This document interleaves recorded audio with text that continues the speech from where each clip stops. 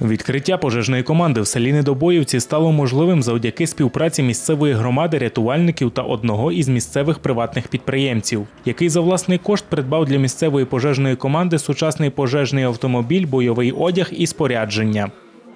Село Недобоївці велике, рядом села.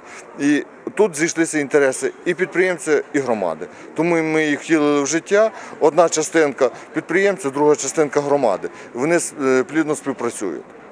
Ці дві частинки. І вони будуть приносити користь, я ж кажу, не одному, другому, а всім ближайшим. Потрібно буде в атаки, перебики в цьому дальню точку, машина на бойовому чергуванні. 3-4 роки назад я був у Польщі, де е, мої колеги, підприємці, фермери, самодостатні люди організовуються волонтерський рух, де вони надають такі людям послуги з пожежогасіння. Мене це дуже захопило. Я цією ідеєю ну, жив, можна сказати так, три роки. І тільки сьогодні я її втілив в життя.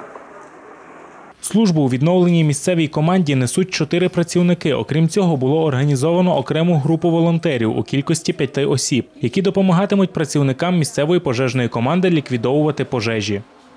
Ця команда укомплектована відповідним штатом, яка має сучасний бойовий одяг та спорядження, а також на озброєнні має пожежно-технічне обладнання.